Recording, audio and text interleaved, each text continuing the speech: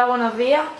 Eh, estamos aquí con el campeón de España de atletismo, Darío Bellón, un malagueño de 16 años que ha participado en diversos torneos este año.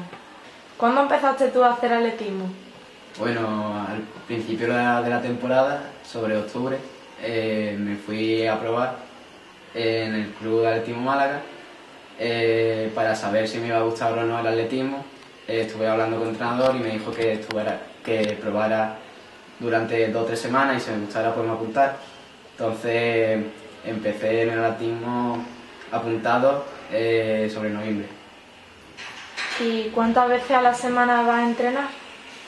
El atletismo se entrena de lunes a viernes, lo que pasa es que como estoy también en el fútbol, eh, no puedo ir ni los martes ni los jueves y en algunos viernes tampoco, depende de si entreno o no al fútbol.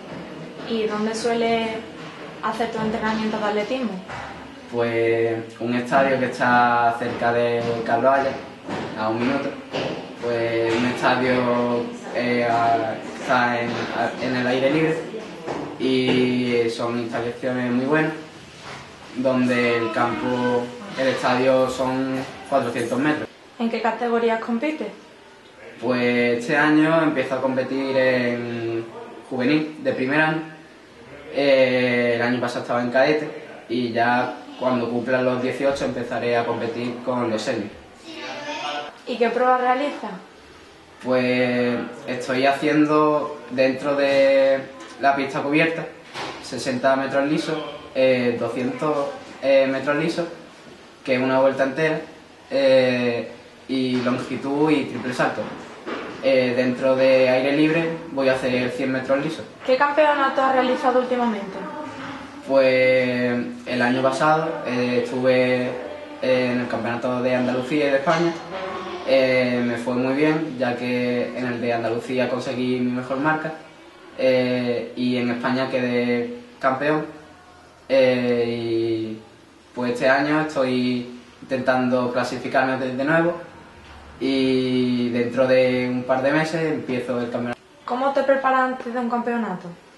Pues el entrenamiento, eh, mi entrenador y yo hablamos de cómo debería hacer las pruebas.